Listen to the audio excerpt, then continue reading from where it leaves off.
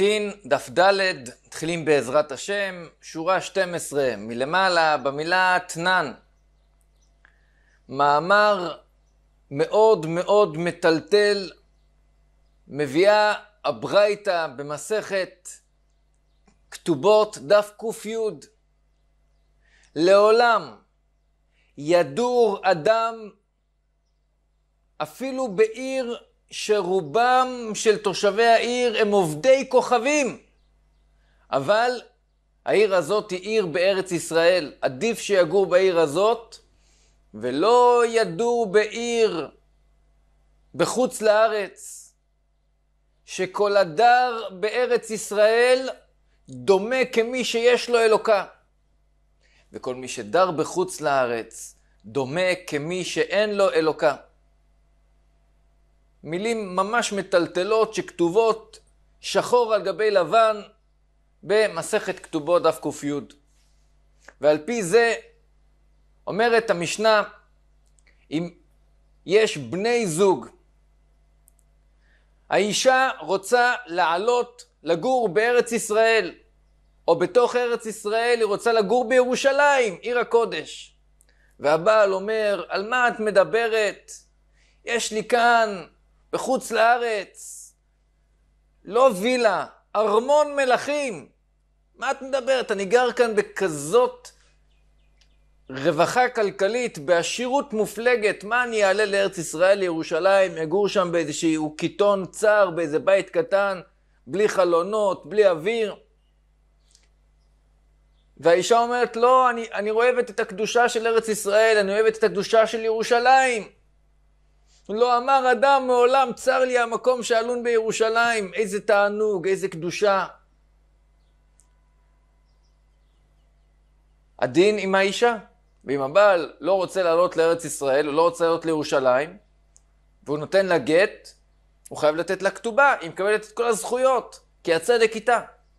וכן להפך, אם הבעל רוצה לגור בירושלים, בארץ ישראל, והאישה רוצה להישאר בחוץ לארץ, גם כן, היא מקבלת גט והיא לא מקבלת כתובה. כך נאמר במסכת כתובות דף ק"י. עכשיו נאמר במקרה שפתחנו שהבעל גר בפאר והדר בחוץ לארץ והוא לא זכה עדיין למעלה העצומה להרגיש את הקדושה של ארץ ישראל, את הקדושה של ירושלים עיר הקודש והוא לא רוצה לעלות לארץ ישראל. והוא שולח לאשתו גט. הוא אפילו לא עולה לארץ ישראל בשביל לתת את הגט לאשתו. כל כך שקוע שם בכל ה... הוויות של העולם הזה. הוא לוקח מישהו, אומר לו, תשמע, אני ממנה אותך שליח, תן את הגט הזה לאישה שם בירושלים, בעיר העתיקה מול קודש הקודשים, פילי פלאים, שייתן את הגט הזה לאישה. אומרת המשנה, בסדר, אפשר למנות שליח, הבעל יכול למנות שליח להולכה, שהשליח ימסור את הגט לאישה, וכשהאישה תקבל את הגט היא מגורשת, כאילו קיבלה את הגט מהבעל. אבל צריך שהשליח יאמר ארבע מילים. בפניי נכתב הגט, ובפניי נחתם. נחתמו החתימות של העדים על גבי הגט. צריך לומר את ארבעת המילים האלה, בפניי נכתב ובפניי נחתם. מה הסיבה? מה הסיבה? הוא נתן את הגט, נגמר הסיפור. עשה את שליחותו. אומר רבא, הסיבה היא כי בני חוץ לארץ לא בקיאים בהלכה שאומרת שכתיבת הגט צריכה להיות לשם אותה אישה, וכן חתימת העדים על גבי הגט צריכות להיות לשם אותה אישה. וחוששים שהגט נכתב ונחתם שלא לשמה. לכן כשהשליח בא ואומר בפניי נכתב, אומרים לו ברצינות, אתה ראית שזה נכתב? כן. זה נכתב לשמה? כן. אז אם כן זה יקשר. אתה היית בשעה שזה נחתם, החתימות, החתימות של העדים היה לשמה? כן. אז הגט כשר. זה ההסבר של רבא. אומר רבא הסבר אחר. חוששים שהבעל יבוא ויאמר, החתימות האלה מזויפות. העדים לא חתמו את החתימות האלה, זה מזויף. ואז, לך תחפש עכשיו את העדים שחתמו על השטר, זה הרי בכלל, אנחנו פה בארץ ישראל, הגט בארץ ישראל, לך תחפש את העדים בחוץ לארץ, זה סיפור מאוד מאוד מאוד קשה. לכן השליח שמביא את הגט הוא בעצמו העד שגם מקיים את החתימות, ואומר שזה חתימות כשרות, ועכשיו גם אם הבעל יאמר שזה מזויף, יכול לצרוח מה שנקרא ככרוכיה ולא ישגיחו בו.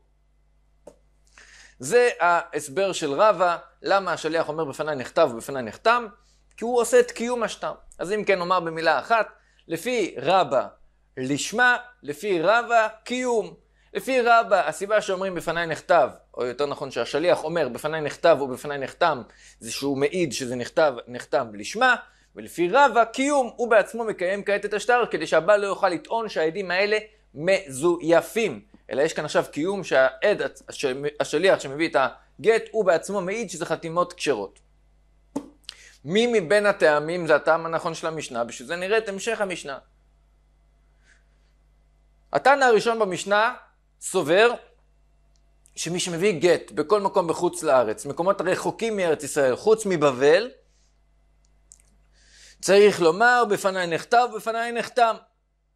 אבל אם זה ערים קרובות לארץ ישראל, כמו רקם וחגר, לא צריך לומר בפניי נכתב ובפניי נחתם. ובמשנה שלנו תנן רבן גמליאל אומר, אף שליח המביא גט מן הרקם ומן החגר צריך לומר בפניי נכתב ובפניי נחתם. דעה שלישית, רבי אליעזר אומר, לפי דעת רבן גמליאל, הדעה הקודמת, הוא מודה שמי שמביא גט מכפר לודים, שזה ממש מובלע בתוך התחום של ארץ ישראל, הוא לא צריך לומר בפניי נכתב או בפניי נחתם, אפילו שכפר לודים זה בעצם חוץ לארץ, אבל זה יותר קרוב מרקם וחגר. רק מי שמביא גט מן הרקם ומן החגר צריך לומר בפניי נכתב ובפניי נחתם לפי רבן גמליאל. בא רבי אליעזר ומחמיר יותר, הוא אומר אפילו שליח שמביא גט מכפר לודים ללוד, צריך לומר בפניי נכתב ובפניי נחתם. ואמר אביי במה הוויכוח? הוויכוח הוא בעיירות הסמוכות לארץ ישראל, ומובלעות בתחום ארץ ישראל, בעיירות האלה עסקינן. בזה הוויכוח בין רבן גמליאל לבין רבי אליעזר. וכן ביניהם לבין התנא הראשון במשנה. האם הם בכלל התקנה שצריכים לומר בהם, בפניי נכתב ובפניי נחתם או לא? רבן גמליאל סובר שגם העיירות הסמוכות לארץ ישראל כמו רקם וחגר צריכים לומר בפניי נכתב ובפניי נחתם. לעומת חכמים שאומרים שלא צריך כי הן כבר קרובות. רבי אליעזר מוסיף אפילו ממש עיירות שמובלעות בתוך התחום של ארץ ישראל, כמו למשל כפר לודים, צריך לומר בפניי נכתב ובפניי נחתם. ואמר רבא בר בר חנא שהוא בעצמו ראה את הקרבה שיש לכפר לודים, לעיר לוד, לדידי חז אליהו אתרא, אני ראיתי את המקום, את ההפרש בין שתי המקומות, והווה כמבייקובי, המרחק ביניהם הוא כמו המקום שנקרא בייקובי לבין פומפדיטה, שזה ממש סמוך. טוב, בוא וניקח את הוויכוח הזה ונלמד ממנו מה הטעם שהשליח שמביא גט אומר בפניי נכתב, בפניי נחתם, האם כמו רבא או כמו רבא.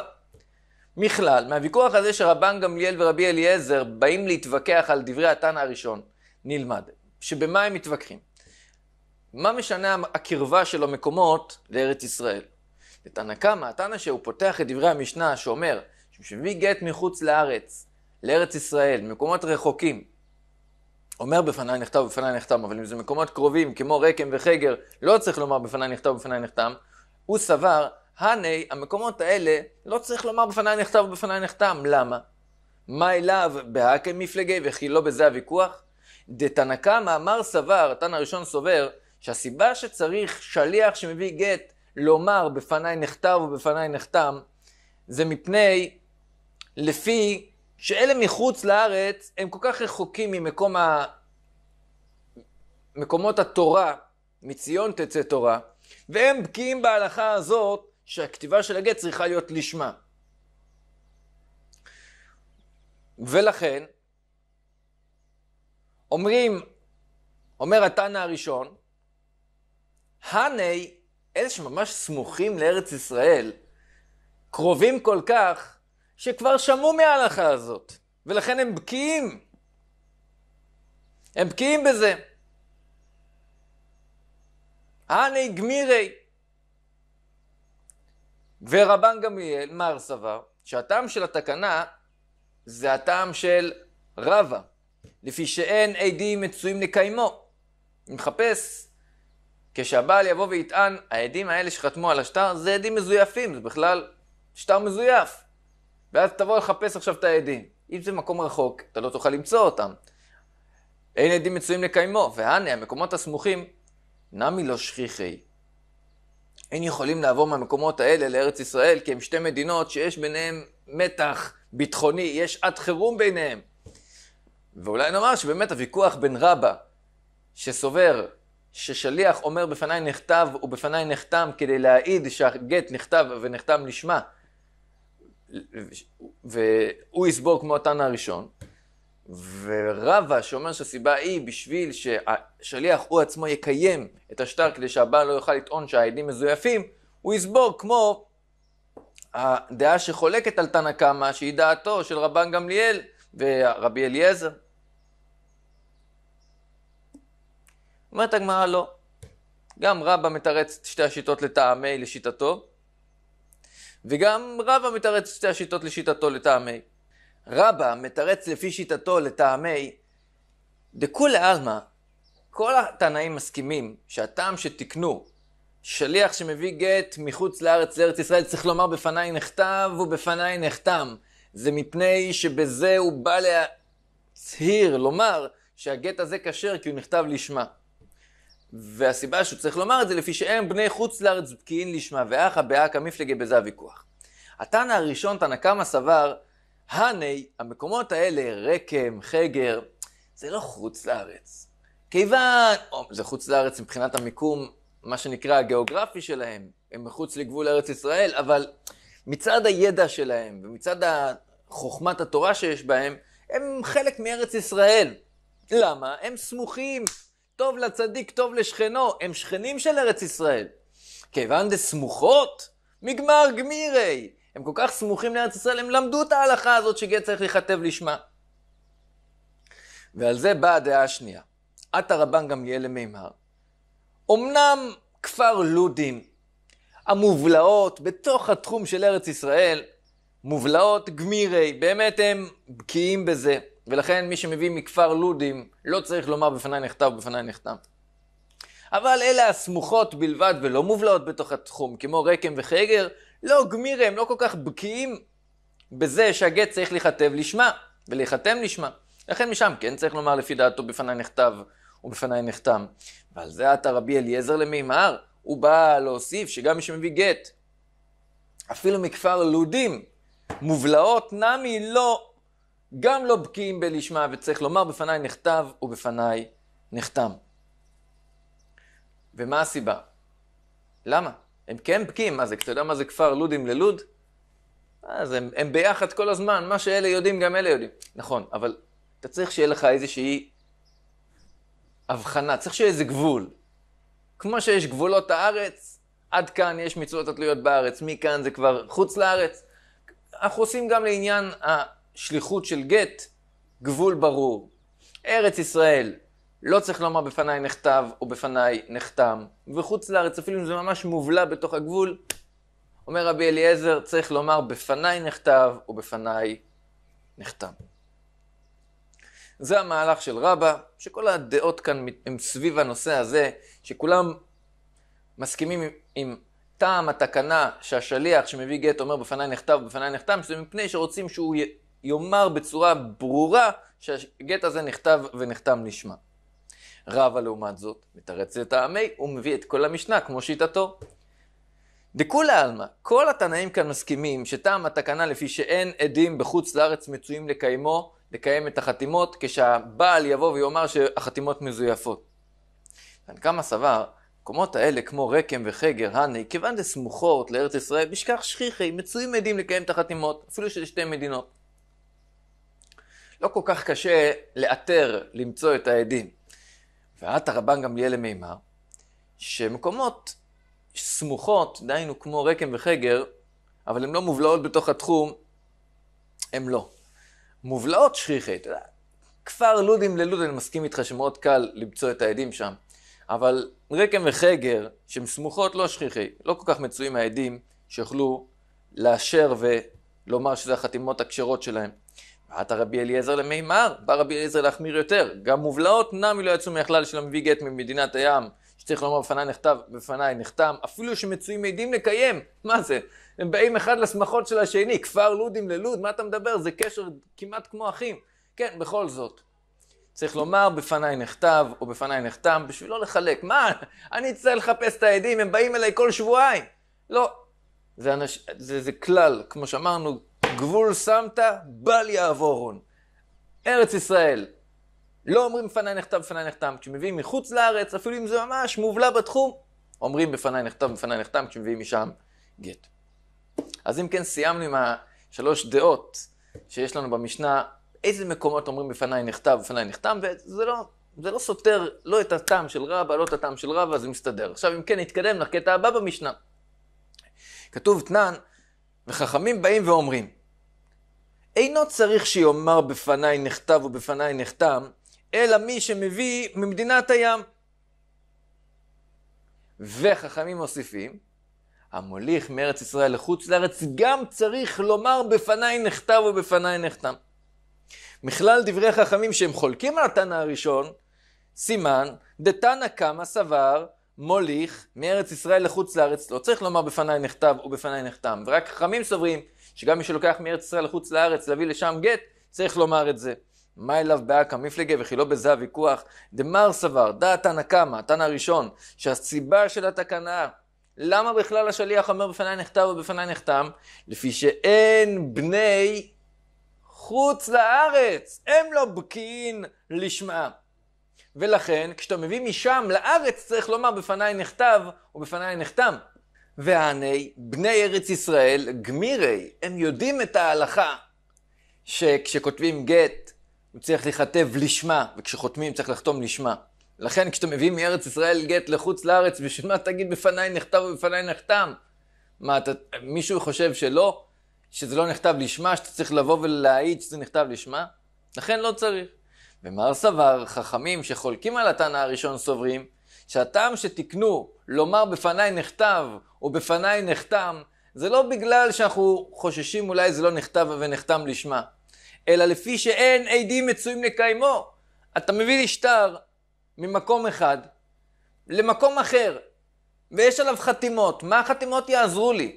אם בסוף מישהו יבוא לערער על החתימות, במקרה שלנו הבעל, ויאמר שהחתימות מזויפות, מאיפה תביא את העדים האלה? הם רחוקים, איך תמצא אותם?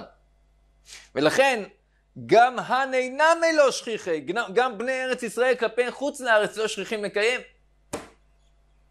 למה שהם יעזבו את ארץ ישראל? בשביל לבוא לחוץ לארץ. איך תמצא אותם בחוץ לארץ? טוב להם לשבת בארץ, שרים תמיד שם.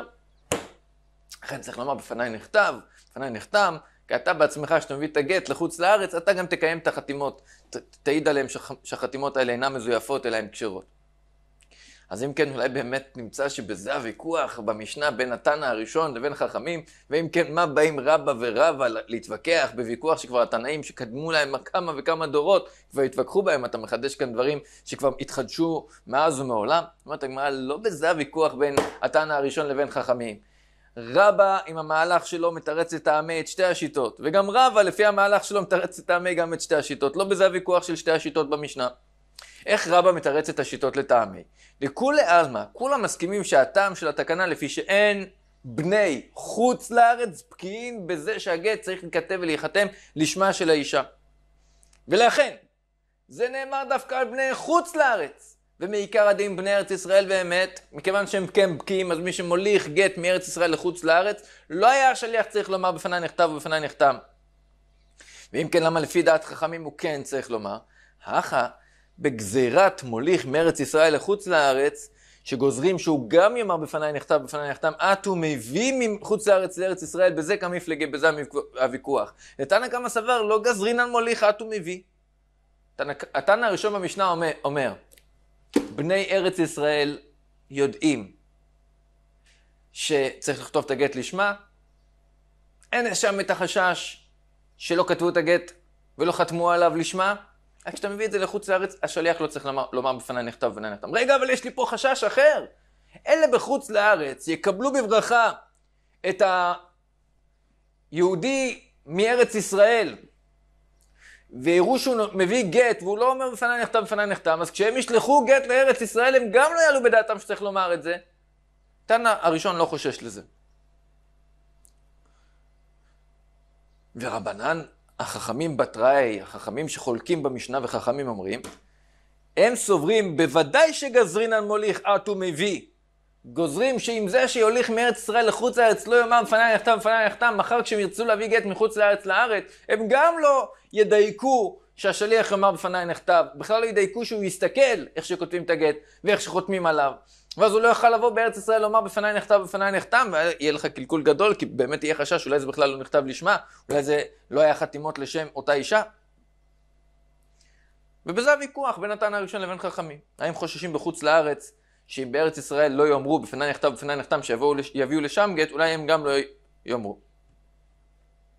ורבא, הוא לפי המהלך שלו מתרץ את העמי, לפי שיטתו. באמת דכולי עלמא, גם התנא הראשון וגם חכמים מסכימים שטעם התקנה שהשליח אומר בפניי נכתב, בפניי נחתם, זה לפי שאין עדים מצויים לקיימו. ולכן, כולם מודים שגם מי שמוליך גט מארץ ישראל לחוץ לארץ צריך לומר בפניי נכתב ובפניי נחתם. כי מה עוזר לי שזה מגיע מארץ ישראל? פה בחוץ לארץ אין לי עדים מארץ ישראל שכשיבוא הבעל ויטען שהגט הזה מזויף, יבואו ויאמרו זה לא מזויף, אנחנו חתמנו את זה או שאנחנו מכירים את החתימות. ורבנם בתראי לפרושי תמי דתנא קמא ודעתו. חכמים באו לפרש את טעמו של התנא הראשון, בשביל זה הם באו, הם לא באו לחלוק. אלא הם באים לומר שגם התנא הראשון מודה שזה לא משנה מארץ ישראל לחוץ לארץ, או מחוץ לארץ לארץ ישראל, בכל מקרה, את השליח להביא ממקום אחד למקום אחר, שאין עדים מצויים ממקום אחד למקום אחר, תאמר אתה, אתה תהיה זה שמקיים את החתימות. בפניי נכתב, אני מעיד שהחתימות האלה הן לא מזויפות. הכתיבה לא מזויפת, החתימה לא מזויפת, בפניי נחתם, הכל כדת וכדין. אז אם כן, רבא ורבא הצליחו להסתדר, אולי נאמר את זה במילה הזאת, גם עם החלק הזה של המשנה. נעבור לחלק הבא, תנן. מה עושים בחוץ לארץ עצמו? אדם מביא גט, תנן המביא גט ממדינה למדינה במדינת הים. מצרפת לברזיל. חוץ לארץ, שתי מקומות. אומרת המשנה צריך לומר בפניי נכתב ובפניי נכתב. משמע,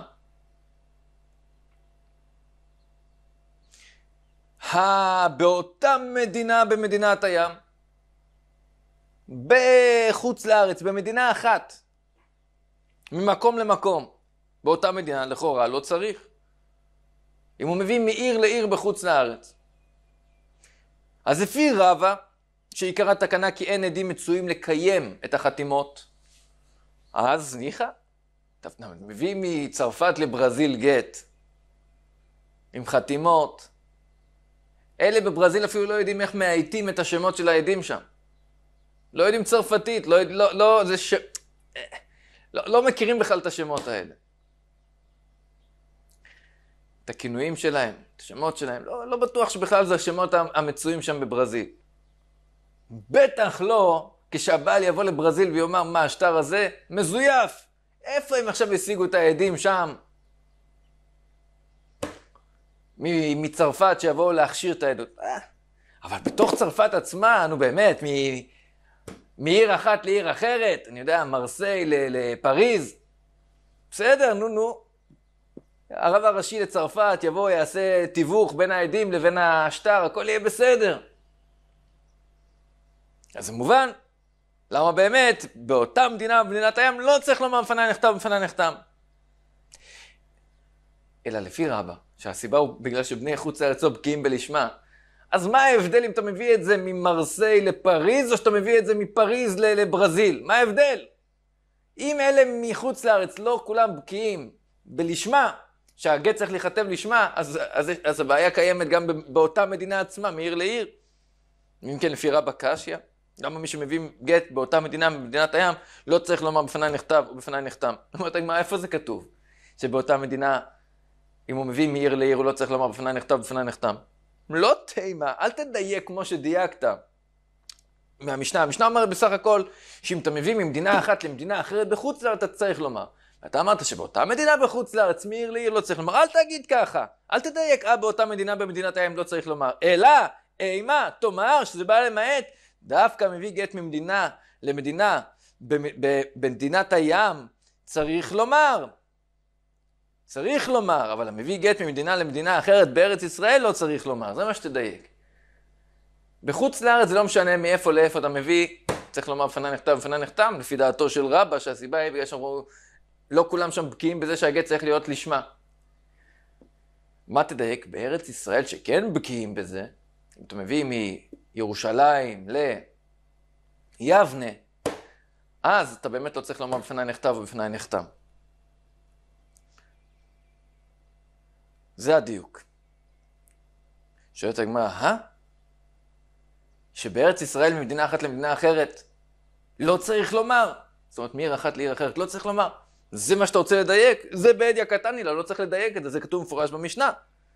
המביא גט בארץ ישראל, אינו צריך לומר בפניי נכתב ובפניי נחתם.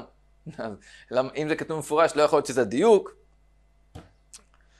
מתרצת הגמרא. באמת, זה הדיוק.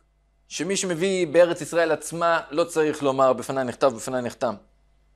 אם תשאל למה המשנה בכל זאת כותבת את זה גם מפורש, אם זה גם, אם, אם כשהיא כותבת שמי שמביא גט ממדינה למדינה במדינת הים צריך לומר בפניי נחתם, בפניי נחתם, היא באה שתדייק שבארץ ישראל ממדינה למדינה, לא, מעיר לעיר לא צריך לומר, אז למה צריכים לכתוב את זה פעם נוספת בפירוש? כי אם היא, אם היה רק את הדיוק, הווה אמינא, הייתי אומר, הנמי לידיעבד. ככה כבר היה הסיפור, נו מה? תהפוך עכשיו את כל הקערה, תהפוך עכשיו את כל, ה... את כל העולם. שליח לא ראה איך שכתבו וחתמו על הגט. הוא לא יכול לומר בפניי נכתב ובפניי נחתם. זה המציאות, נו, הוא כבר פה. מה עכשיו תעשה? תפתח את כל התיק מההתחלה? תכתוב את כל הגט מההתחלה? לא. עד שהצלחנו להשיג מהסרבן גט הזה שיוציא איזה גט, מה עכשיו צריך לפתוח את כל הסיפור מההתחלה? אם מדובר במקרה כזה או מקרה אחר? בדיעבד אתה אומר, טוב, כשר, טוב, ארץ ישראל, אני יודע, זה נכתב לשמה, זה נחתם לשמה, אפשר חזקה על חבר שיודע את ההלכה, בוודאי זה נכתב ונחתם לשמה. אבל הייתי סבור לכתחילה, יבוא אליי עכשיו השליח, ואומר לי, תשמע, מבקשים ממני לשלוח גט ממדינה אחת למדינה אחרת בתוך ארץ ישראל, מעיר לעיר בארץ ישראל. אני צריך לומר בפניי נכתב ובפניי נחתם? הייתי אומר לא. אני, אני, אני לא אומר לו שהוא לא צריך, אלא אני אומר לו שהוא כן יצטרך לומר בפניי נכתב ובפניי נחתם. אני אומר לו, אתה צריך לראות איך כותבים ואיך חותמים, כדי שאתה תוכל לומר בפניי נכתב ובפניי נחתם. ככה הייתי סבור. כמה שמלן, החלק הבא במשנה שכותב מפורש. המביא גט בארץ ישראל עצמה, אינו צריך לומר בפניי נכתב ובפניי נחתם, הכוונה היא, אתה יכול לשבת וללמוד. תמשיך את הדף היומי, דף אחרי דף. אל תלך עכשיו לבית הדין לראות איך כותבים את הגט, איך חותמים, בשביל שתוכל אחרי זה לומר שזה נכתב ונחתם לשמה. בארץ ישראל אתה יכול להיות סמוך ובטוח שהם בקיאים בהלכה הזאת. אתה, כשהגט יהיה מוכן, קח את זה אצלך, וכשאתה תיסע לעיר אחרת לעשות הפצת תורה, או לזכות את הרבים, או משהו אחר, תיקח איתך את הגט ותמסור את זה.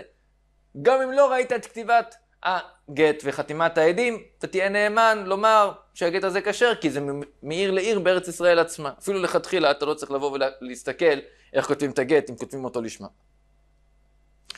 עכשיו, זה מהלך אחד על החלק האחרון של המשנה, לבאר, ככה לראות אם זה מתאים עם רבא, עם רבא, ואולי באמת בזה הוויכוח בין התנא הראשון לבין חכמים, מה בטעם, שאחד יסבור כמו הטעם של רבא והשני כמו רבא.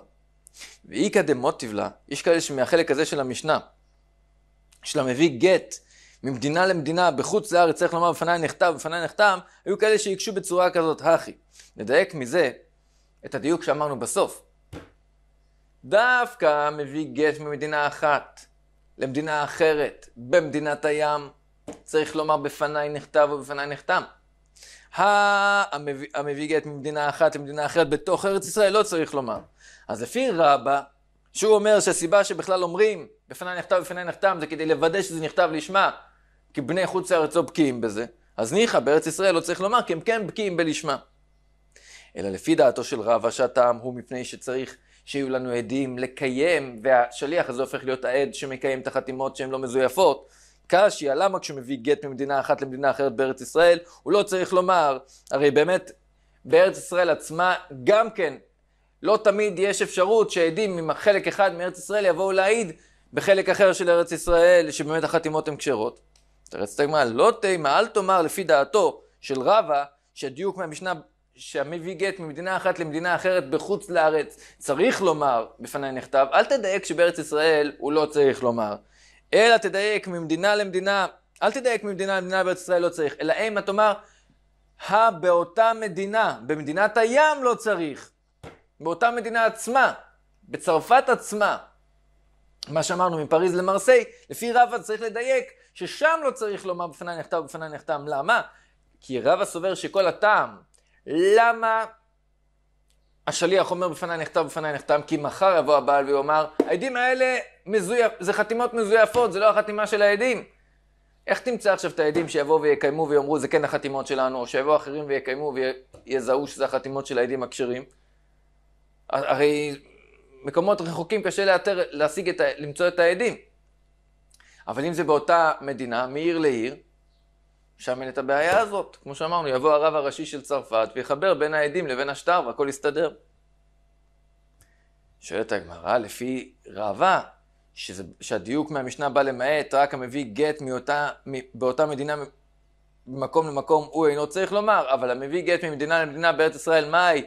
צריך לומר, כי אין עדים מצויים לקיימו, אז אם כן ליטנה, שיהיה כתוב, המביא גט ממדינה למדינה. וזה לא משנה ארץ ישראל לחוץ לארץ, תכתוב סתם. עונה, אלא אומרת הגמרא, לעולם אפשר ללמוד מהמשנה שמביא גט ממדינה למדינה בארץ ישראל, נמי לא צריך. באמת, בארץ ישראל עצמה, גם רבא מסכים, שמדויק מדברי המשנה, שאם הוא מביא ממדינה למדינה, לא צריך לומר בפניי נחתם בפניי נחתם. ואם כן תשאל לפי רבא, מה זה משנה אם זה ארץ ישראל או חוץ לארץ? לא הבנתי. הרי אין לי פה עכשיו עדים. איך, איך אני אמצא אותם? זו מדינה אחרת בארץ ישראל, זה בכלל אזור אחר. איך אני אמצא את העדים? אז למה באמת אה, שהשליח לא יהיה זה שיקיים, כדי שלא נצטרך לחפש אחר כך את העדים? התשובה, בארץ ישראל, אפילו בשתי מדינות, אין את החשש הזה. למה? דכיוון דאיכא עולי רגלים. כיוון שמארץ ישראל הכל מעלים לירושלים, כולם עולים לרגל לבית המקדש. משכח שכיחי, בכל מקום יש עדים שיכולים לקיים את החתימות. כי בני כל ארץ ישראל עוברים ממדינה למדינה לצורך קיום מצוות עלייה לרגל. שואלת הגמרא, תינח בזמן שבית המקדש קיים, שמצויים עולי רגלים, אבל בזמן שאין בית המקדש קיים, מה יקא לממה? מה יש לך לומר? עונה הגמרא, כיוון דאיכא, יש תקנה של עזרא הסופר, שצריכים שבתי דינים דקביעי יהיו קבועים בכל שני וחמישי בעיירות, אם כן, משכח שכיחי, מצויות שיירות שהולכות ממקום למקום לבית הוועד של בית הדין, ותמיד ימצאו עדים לקיים. באמת רואים שהמציאות בארץ ישראל, שאפילו אלה שגרים במקומות מרוחקים, יוצא להם הזדמנויות להיפגש. אם זה במירון, באתרא קדישא, שם אצל רבי שמעון בר יוחאי, אם זה בכותל המערבי, ואם זה, שלא נדע מצרות, אולי בהפגנות או בכל מיני הזדמנויות אחרות. בני ארץ ישראל, מטבע הדברים, הם מעורבבים אחד עם השני. אז אם כן, יותר שייכת המציאות שיפגשו בני מקום אחד, מדינה אחת, אם נקרא לזה כך, בארץ ישראל, עם בני מדינה אחרת בארץ ישראל, ואז נוכל באמת לקיים את החתימות על ידי העדים, על ידי אלה שמכירים את החתימות של העדים. תנן, בהמשך המשנה, אומר רבן שמעון מגמליאל, לפי דעתו הוא אומר אפילו מי שמביא גט בעיר אחת בארץ ישראל, מהגמוניה, ממקום שבשליטת מושל אחד, להגמוניה, מקום שבשליטת מושל, מושל אחר, צריך השליח לומר בפניי נכתב ובפניי נחתם. ואמר רבי יצחק, זה מדובר על עיר בארץ ישראל.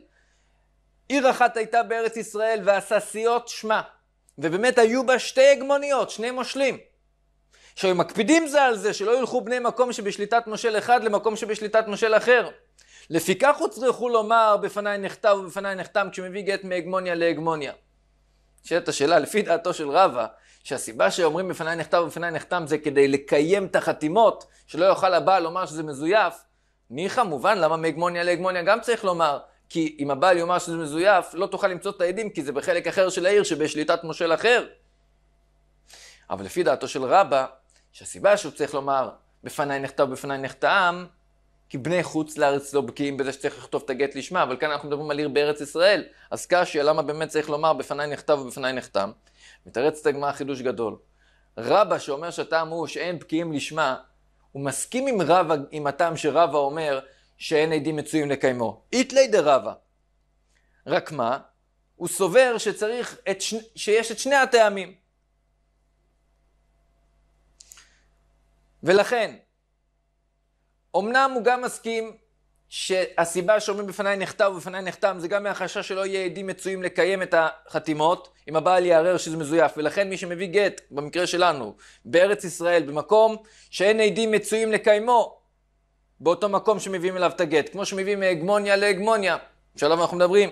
צריך לומר בפניי נכתב ובפניי נחתם כי אין עדים מצויים לקיים את החתימות. הוויכוח הוא במביא ממדינת הים באופן שעדים מצויים לקיימו אם חוששים גם לזה שאינם בקיאים לשמה. רבא סובר שחוששים גם לזה, ולכן צריך לומר בפניי נכתב ובפניי נחתם, ורבא סובר שלא תקנו משום חשש לשמה, אלא רק בשביל שאין העדים מצויים לקיימו. נשאלת השאלה, אלא אם כן, חוזרת השאלה, מהי ביניו, מה ההבדל, אם הטעם הוא גם משום שהם בני חוץ לארץ בקיאים לשמה, לבין הטעם של אין עדים מצויים לקיימו. הרי אמרנו בדף ב' עמוד ב', שיש הבדל ביניהם, אחד ההבדלים, כשמביאים גט ממדינה למדינה בארץ ישראל. לפי דעת רבא, לא צריך לומר, כי בני ארץ ישראל כולם בקיאים שכתיבת הגט וחתימתה צריכה להיות לשמה.